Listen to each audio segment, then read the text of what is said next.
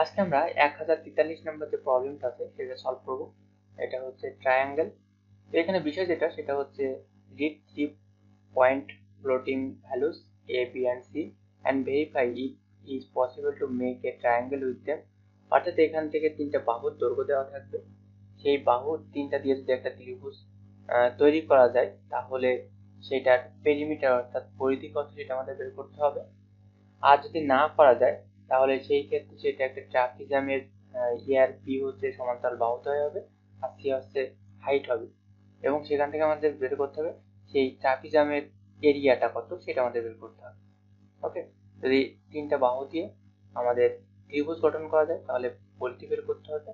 আর ত্রিভুজ গঠন না করা যায়, তাহলে সেটা, সেটাকে ট্রাপিজিয়ামের সমান্তরাল বাহুদ্বয় এবং হাইট ধরে সেখান থেকে আমাদের এরিয়াটা বের করতে হবে। তো এইটা বিষয়টা কি আমরা একটু একে দেখি। মনে করেন যে এখানে তিনটা বাহু দেওয়া আছে, এরকম একটা, এটা সোজা করতে হবে, এরকম একটা আর এরকম একটা। তো তিনটা বাহু দিয়ে যদি আমরা একটা ত্রিভুজ আঁকি, তো মনে করেন যে সাপোজ এরকম। মনে করেন তিনটা বাহু দেওয়া আছে, তিনটা বাহুর দৈর্ঘ্য দেওয়া আছে। তো প্রথম বাহুর দৈর্ঘ্য মনে করেন যে পাঁচ সেন্টিমিটার, এটা হচ্ছে চার সেন্টিমিটার, আর এটা হচ্ছে তিন সেন্টিমিটার। এটা আমরা সাপোজ ধরে নিলাম। তো এখান থেকে আমাদের দেখতে হবে যে আসলে এই চারটা, এই তিনটে বাহু দিয়ে আমাদের ত্রিভুজটা গঠন করা যাবে কিনা। তো ত্রিভুজ গঠন করার শর্ত হচ্ছে এই দুই বাহুর যোগফল দ্বিতীয় বাহু অপেক্ষা বড় হতে হবে। তো সেটা কি হবে? মনে করেন যে এই যে ছোট দুই বাহু, সেই দুই বাহু যদি যোগ করে বড় বাহুর থেকেও বড় হয়, তাহলে অবশ্যই সেটা দিয়ে ত্রিভুজ গঠন করা যাবে। তো এখানে সেক্ষেত্রে এটা গঠন করা যাবে। আর যদি এরকম হয় যে আট, চার চার, অর্থাৎ একটা বাহু আট সেন্টিমিটার একটা হচ্ছে চার আর একটা হচ্ছে চার। এই দুটো যোগ করে দেখেন, এই তৃতীয় বাহু কিন্তু বড় হচ্ছে। না সো এইটা দিয়ে ত্রিভুজ গঠন করা যাবে না। আর যখন করা যাবে না, তখন আমরা নির্ণয় করতে হবে? ট্রাপিজামের এরিয়া নির্ণয় করতে হবে। আর যখন হচ্ছে ত্রিভুজ গঠন করা যাবে, তখন কি করতে হবে? এর হচ্ছে পরিধি, অর্থাৎ এই তিন বাহু সমষ্টি কত সেটা বের করতে হবে। এটা জাস্ট তিন বাহু যোগ করে দিলে হয়ে যাবে। এটা কঠিন কোনো কাজ না। আর এই ক্ষেত্রে আমাদের যেটা এ করতে হবে এখানে হচ্ছে প্রথম দুইটা বাহু হবে হচ্ছে সমান্তরাল বাহুদ্বয় অর্থাৎ একটা ট্রাপিজামের ক্ষেত্রে এরকম সমান্তরাল বাহুদ্বয় থাকে। এরকম মনে করেন যে একটা একটা যদি ট্রাপিজাম হয়, তাহলে এই বাহু আর এই বাহু হচ্ছে সমান্তরাল। তো এই বাহুর দৈর্ঘ্য হচ্ছে এইট এইটা হচ্ছে ফোর আর এই দুই বাহুর মধ্যবর্তী দূরত্ব বা উচ্চতা, সেটা হচ্ছে আমাদের এই তৃতীয় বাহু। তো সেখান থেকে আমরা জানি যে ট্রাপিজামের ক্ষেত্রফল হচ্ছে হাফ ইন্টু সমান্তরাল বাহুদ্বয়ের যোগফল অর্থাৎ চার যোগ আট যোগ চার ইন্টু উচ্চতা। উচ্চতা বলতে আমাদের এই চার। এখান থেকে আমাদের ক্যালকুলেশন করলেই হয়ে যাবে। তো এই কাজটা আমরা কোড ব্লকসে করব। তো কোড ব্লকসে করার জন্য আমরা প্রথমে ডাবল টাইপের তিনটা ভেরিয়েবল ডিক্লেয়ার করব। এ বি এবং সি নাম। প্রথমে আমরা কি করব? যদি সরি প্রথমে আমরা হচ্ছে স্ক্যান করে নেব। ইউজারের কাছ থেকে যে ইউজার কি কি দিতে চাচ্ছে এল এফ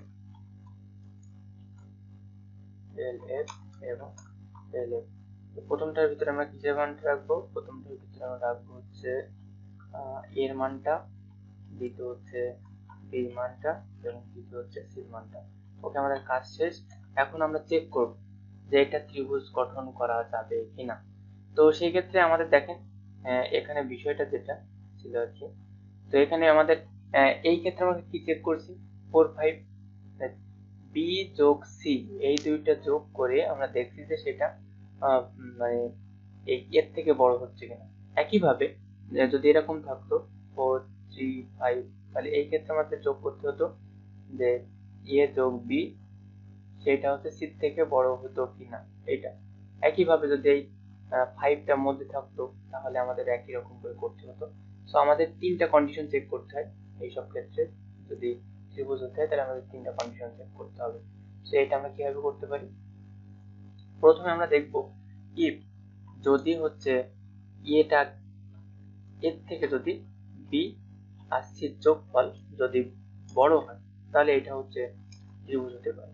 নইলে যেটা হতে পারে যে বি বাহুর দৈর্ঘ্য যদি সি বাহু আর এ বাহু সমষ্টির থেকে বড় হয়, তাহলে সেটা ত্রিভুজ হতে পারে। অথবা সি বাহুর দৈর্ঘ্য যদি এ বাহু আর বি বাহুর যোগফলের বড় হয় মানে যোগফল যদি বড় হয়, এ বি বাহুর যোগফল যদি সি বাহুর থেকে বড় হয়, তাহলেও সেটা ত্রিভুজ হতে পারে। আর সেই ক্ষেত্রে আমাদের কি প্রিন্ট করতে হবে? সেই ক্ষেত্রে প্রিন্ট করতে হবে হচ্ছে পেরিমিটারটা পেরিমিটারটা কি? সেটা প্রিন্ট করার জন্য আমাদের এখানে লিখতে হবে। এখানে লিখতে হবে, দেখেন যে পেরিমিটার পেরিমিটার ইকুয়াল এই জিনিসটা আমরা এখান থেকে কপি করে নিয়ে যাব। নিয়ে যে এখানে জাস্ট বসায় দিয়ে, এখানে আমাদের দশমিকের পরে এক ঘর থাকছে, তাহলে percent point one L F এবং শেষে একটা নিউ লাইন দিয়ে দেবো। আর এখানে কিসের ভ্যালুটা প্রিন্ট করব? যেহেতু আমরা হচ্ছে পেরিমিটার অর্থাৎ পরিধি বের করছি, সেহেতু আমরা তিন বাহু যোগফল এখানে করে দেবো। এটা হচ্ছে পরিধি। তো আমরা পরিধি বের করে ফেললাম। এখন এইটা যদি ত্রিভুজ না হয়, তাহলে কি করতে হবে? যদি ত্রিভুজ না হয়, তাহলে সেটা হচ্ছে ট্রাপিজাম হিসাব করে আমাদের তার এরিয়াটা বের করতে হবে। তো সেই ক্ষেত্রে আমাদের কি করতে হবে?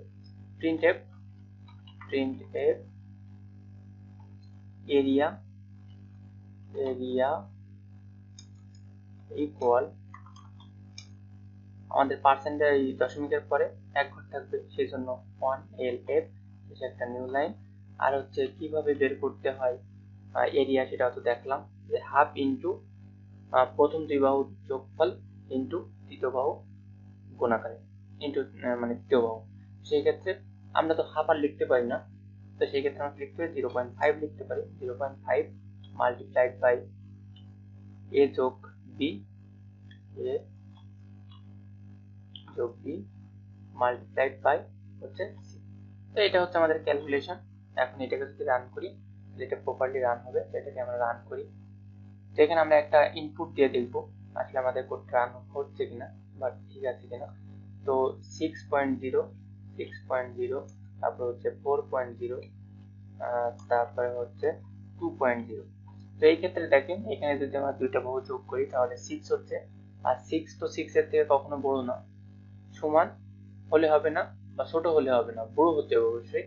ছোট বহু যোগ করে বড় বহুর অপেক্ষাও বড় হতে তাহলে সেখান থেকে আমরা ত্রিভুজ গঠন করতে পারব। সে এখান থেকে যেহেতু ত্রিভুজ গঠন করা যায় না, সেহেতু আমরা এখান থেকে কি পাবো? ট্রাফিজামের ক্ষেত্র এই এরিয়া পাবো। এই ট্রাফিজামের এরিয়াটা কত? আমরা এখানে দেখি।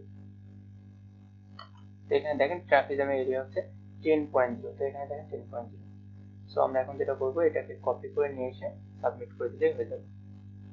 কন্ট্রোলে কন্ট্রোল সি এখান থেকে এটাকে সাবমিট করে দেবো। এখন এটাকে আমরা যদি সাবমিট করে দিই, তো এখানে একটু সময় নিবে।